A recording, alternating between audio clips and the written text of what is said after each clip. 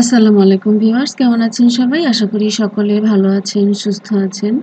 আজকে আমি আলোচনা করব ছিয়াশি জনের নিয়োগ বিজ্ঞপ্তি, ছয়টি পদে, মাত্র ছয়টি পদে ছিয়াশি জন নিয়োগ দেওয়া হচ্ছে নীলফামারী সিভিল সার্জনের কার্যালয়ে। অর্থাৎ সিভিল সার্জন কার্যালয় নীলফামারীতে মাত্র ছয়টি পদে ছিয়াশি জনের নিয়োগ বিজ্ঞপ্তি নিয়ে আজকের আলোচনা। এখানে বেতন স্কেল নয় হাজার তিনশো টাকা থেকে ছাব্বিশ হাজার পাঁচশো নব্বই টাকা। বিজ্ঞপ্তিটি প্রকাশ করা হয়েছে আটই মার্চ দুই হাজার চব্বিশ এবং আবেদন শুরু হয়ে গিয়েছে এগারোই মার্চ থেকে। আবেদনের শেষ তারিখ সাতই এপ্রিল দুই হাজার চব্বিশ। এখানে আবেদনের জন্য যে ওয়েবসাইটের লিঙ্ক দেওয়া হয়েছে, সেটা আপনারা স্ক্রিন দেখতে পাচ্ছেন। এই ওয়েবসাইটের লিঙ্কটি আমার ভিডিও ডিসক্রিপশনে আপনারা পেয়ে যাবেন। এখান থেকে আপনারা ওয়েবসাইটে ঢুকে বিস্তারিত নিয়োগ বিজ্ঞপ্তিটি দেখতে পাবেন এবং ওখান থেকে অনলাইনে আবেদন করতে পারবেন।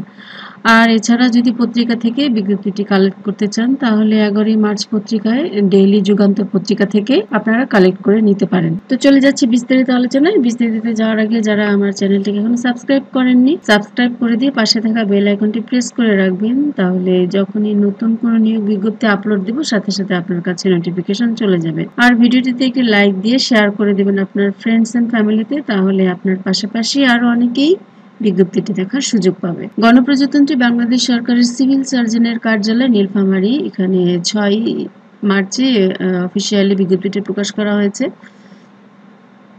স্মারক নাম্বার এখানে দেওয়া আছে।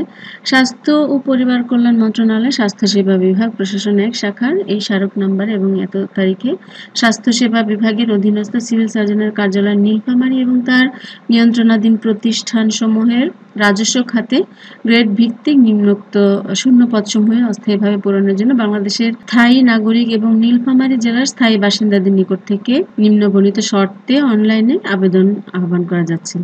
অনলাইন ভিত্তিতে আবেদন গ্রহণ করা হবে না। অর্থাৎ আপনাদেরকে অবশ্যই আবেদনটি অনলাইনে করতে হবে। এখানে মাত্র ছয়টি পোস্ট। এক নম্বর পোস্ট হচ্ছে কম্পিউটার অপারেটর। এখানে দুইজনকে নিয়োগ দেওয়া হবে। বেতন গ্রেড হচ্ছে তেরো, এগারো হাজার টাকা থেকে ছাব্বিশ হাজার পাঁচশো নব্বই টাকা এবং শিক্ষাগত যোগ্যতা চাওয়া হয়েছে কোনো স্বীকৃত বিশ্ববিদ্যালয় থেকে বিজ্ঞান বিভাগে স্নাতক বা সম্মান ডিগ্রি বা অথবা সমমানের ডিগ্রি। কম্পিউটার মুদ্রাক্ষরের প্রতি মিনিটে বাংলায় পঁচিশ শব্দ এবং ইংরেজিতে তিরিশ শব্দের গতিসহ অ্যাপটিচিউড টেস্ট পরীক্ষায় উত্তীর্ণ হতে হবে। বাংলা এবং ইংরেজিতে উভয় প্রকার মুদ্রাক্ষরের ক্ষেত্রে প্রতি পাঁচটি স্ট্রোক একটি শব্দ হিসেবে গণ্য হবে। যারা টাইপিং করেন টাইপিং শিখেছেন, তারা কিন্তু এই শব্দটার অর্থ বুঝবেন।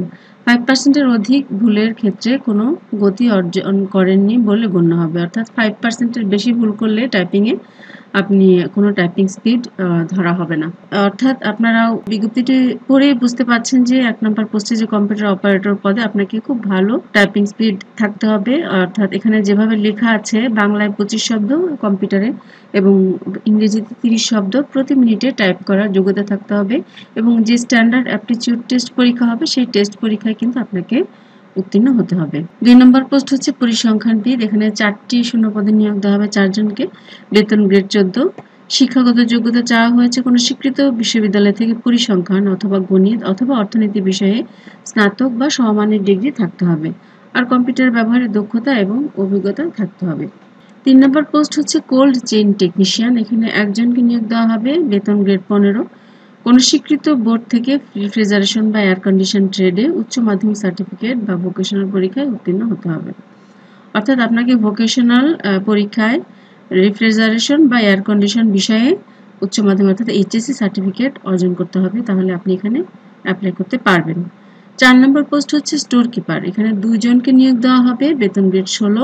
কোনো স্বীকৃত বোর্ড থেকে উচ্চ মাধ্যমিক অর্থাৎ এইচএসসি বা সমান পরীক্ষায় উত্তীর্ণ হলে আপনি এখানে অ্যাপ্লাই করতে পারবেন। আর স্টোর কিপার পদধারীগণকে সরকারি বিধি অনুযায়ী জামানত, অর্থাৎ আপনি যদি সিলেক্টেড হন, নিয়োগপ্রাপ্ত হন, তাহলে আপনাকে সরকারি নিয়ম অনুযায়ী একটা নির্দিষ্ট পরিমাণ টাকা জামানত হিসেবে জমা রাখতে হবে। সহকারী, স্বাস্থ্য সহকারী, এখানে স্বাস্থ্য সহকারী পদে সাতাত্তর জনকে নিয়োগ দেওয়া হবে, বেতন গ্রেড ষোলো। কোনো স্বীকৃত বোর্ড থেকে এইচএসসি বা অর্থাৎ উচ্চ মাধ্যমিক সার্টিফিকেট বা সমান পরীক্ষা, অর্থাৎ এইচএসসি পাস হলে আপনি এখানে আবেদন করতে পারবেন স্বাস্থ্য সহকারী পদে। এখানে বেতন গ্রেড হচ্ছে ষোলো, নয় হাজার তিনশো টাকা থেকে বাইশ হাজার চারশত নব্বই টাকা। এটা একটা বিরাট সুযোগ। যারা এইচএসসি পাস আছেন, তারা এখানে অ্যাপ্লাই করতে পারবেন। সর্বশেষ পোস্ট হচ্ছে ড্রাইভার এখানে দুইটি পদে নিয়োগ দেওয়া হবে দুইজনকে। বেতন গ্রেড ষোলো, কোনো স্বীকৃত বোর্ড থেকে জুনিয়র স্কুল সার্টিফিকেট অর্থাৎ অষ্টম শ্রেণি বা জেএসসি পাস হলে বা সমমানের পাস হলে আপনি এখানে অ্যাপ্লাই করতে পারবেন। গাড়ি চালনায়, হালকা গাড়ি চালনায় ড্রাইভিং লাইসেন্স থাকতে হবে এবং অভিজ্ঞতা সম্পন্ন চালকগণ অগ্রাধিকার পাবে এই ছিল আজকের নীলফামারী সিভিল সার্জন কার্যালয়ের ছয়টি পদে ছিয়াশি জনের নিয়োগ বিজ্ঞপ্তি। আর এখানে নিয়োগ আবেদন করতে হলে যে সকল নিয়মকানুন বা শর্তাবলী আপনাকে মানতে হবে সেগুলো এখানে বিস্তারিত লিখে দেওয়া আছে। অবশ্যই আপনার আবেদনের আগে এই বিস্তারিত নির্দেশনাবলীগুলো মেনে সঠিকভাবে আবেদন করার চেষ্টা করবেন। আমি চলে যাচ্ছি পরবর্তী পৃষ্ঠায়। কারণ আবেদনের ক্ষেত্রে কোনো রকম ভুল ভ্রান্তি কিন্তু গ্রহণ করা হবে না।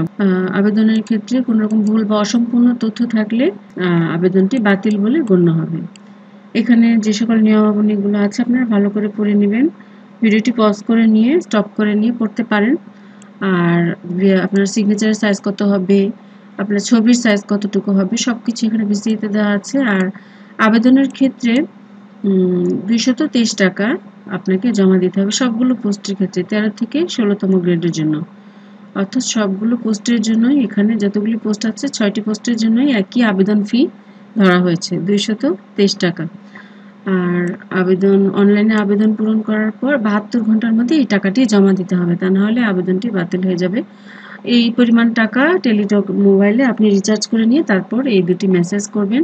এই দুটি মেসেজের মাধ্যমে আপনার আবেদনটি সম্পন্ন হবে এবং কীভাবে আপনি মেসেজটি লিখবেন সেটা বিস্তারিত মানে এক্সাম্পল সহ, উদাহরণ সহ এখানে দেয়া আছে। আপনারা একটুখানি, আপনারা পড়লেই কিন্তু বুঝতে পারবেন।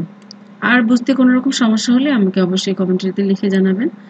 আমি জানা থাকলে ইনশাল্লাহ আপনাদের প্রত্যেকের প্রশ্নের উত্তর দেওয়ার চেষ্টা করব। তো এই ছিল আজকের নীলফামারী সিভিল সার্জন কার্যালয়ের নিয়োগ বিজ্ঞপ্তি। ছয়টি পদে ছিয়াশি জনের নিয়োগ বিজ্ঞপ্তি বিস্তারিত। আপনাদের সর্বোচ্চ সফলতা কামনা করে আজকের ভিডিওটি এখানেই শেষ করছি। ভালো থাকবেন, সবাই সুস্থ থাকবেন। বেঁচে থাকলে ইনশাল্লাহ পরবর্তী কোনো ভিডিওতে আবারও দেখা হবে।